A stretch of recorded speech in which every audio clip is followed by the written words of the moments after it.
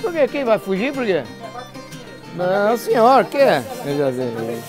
Então, é, deixa eu explicar. Primeiro esse é o que a gente encontra na região. Porque Aquele branco seu lá, difícil. Não, aquele esse. branco meu na charca é o cal para pulverizar. pulverizar. É Então, cal virgem, é outra conversa. Então, quando o pessoal vai procurar, só tem um calcário. Calcário não é cal virgem para fazer cal da bordaleza. Então, Calcário é calcário, cal da bordaleza para ela é o cal virgem. São coisas diferentes. Porque esse igual eu te falei, esse é o que a gente encontra fácil. Ah, é bom. tipo ah, calcário, sim. É o que todo mundo vai encontrar. É, eles perguntam se é para cal da bordaleza, não é? É. Então, e tem dúvida. O pessoal pergunta muito se o calcário que encontra em casa de agricultura comum, até em lojas simples de material agrícola, se o calcário é o que se usa para fazer a cal da bordaleza. Não. Calcário é uma coisa, é para o solo, corrigir a acidez.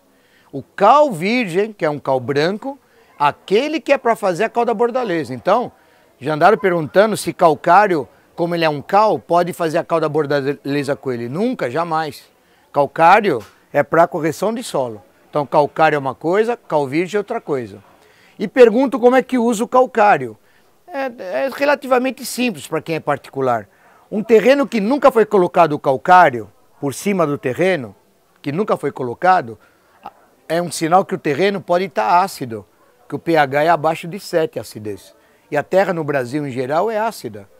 Enquanto na Europa as terras lá são muito alcalino, porque a, a terra na Europa e outras regiões, o, o solo é rico em cal. Então tem lugar no mundo que tem muito cal no solo e tem lugar no mundo que tem pouco cal no solo, que é o caso do Brasil. Então a terra brasileira é ácida. Então qualquer terreno que você vai começar a fazer uma horta, por exemplo, um, can, um canteiro qualquer, primeira coisa numa terra que nunca foi mexida, a média, o básico, para fazer o canteiro é meio quilo do calcário para um metro quadrado. Então, se teu canteiro que você vai preparar tem 4 metros ah, quadrados, um, um canteiro comprido, 4 metros quadrados, você vai colocar 2 quilos de calcário naquele chão, vira bem com a enxada, tem que ser incorporado, deixa descansar 40 dias, depois você prepara o teu canteiro de horta. O calcário só faz efeito 40 dias depois no solo, incorporado. Primeira coisa. Agora, se você tem um terreno que nem o do Carlos, o terreno dele era ácido três anos atrás, que ele não usava calcário. Começou a usar, ele já chegou a ver que o pH aqui do solo dele está 6,5. Está razoável, tá, tá, tá bom. Era mais ácido. Então, quem tem um terreno vai começar a plantar algumas flores ou uma- alguma árvore frutífera, que nunca plantou, no teu solo é meio quilo de calcário por metro quadrado, joga no chão que nem talco, meio quilo por metro quadrado, pica com a enxada, deixa descansando. Depois de 40 dias mais ou menos, você vai fazer o buraco bem feito para plantar a tua muda de fruta. Nunca se planta nada num terreno novo que nunca foi colocado calcário.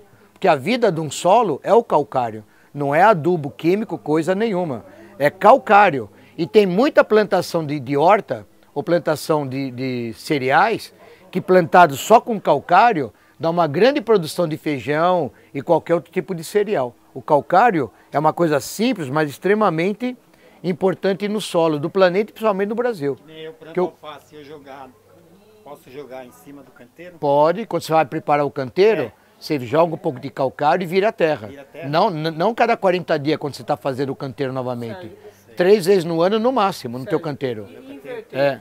Se o cara lá consegue só o cal virgem, É. aí ele usaria no solo? Não, o cal virgem, que é um, um produto diferenciado, mas é um cal, todo cal, até cal de reboque, ele, ele é um cal mais pobre, mas ele ajuda a baixar o pH sim.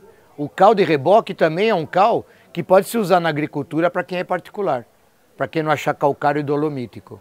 Então o cal resolve também para correção de solo. Quem já tem um, um- um solo que o pH da, da terra está em torno de 6,5, 7, ele não tem por que colocar calcário, pode fazer churume de calcário uma vez no ano, que seria 100, 100 litros de água para 10 quilos de calcário, deixa na água três dias, depois mistura bem o tanque com uma colher de pau, pega um, um regador e rega no chão da tua horta ou em torno das tuas árvores frutíferas a água com calcário. Uma vez por ano, pode. Porque aí ele não é corretivo de solo. Ah. Na água, ele regado no chão, ele manda para a raiz o, cálcio, o cálcio e o magnésio. Ele só corrige o solo se o, o, o calcário está envolvido na, no solo. Foi mexido com a enxada e descansou 40 dias. Mas se você fizer churume de calcário, excelente uma vez por ano, em torno das tuas árvores frutíferas, ou no teu canteiro, quando você preparou, uma vez no ano, rega com o, o, o churume de calcário, uma vez no ano. Vez. Depois você planta as tuas verduras. Vai desenvolver bem. Desenvolve bem. Então na água é uma coisa, no solo é outra coisa. É isso. Legal. Vamos lá. Assim, que nem talco.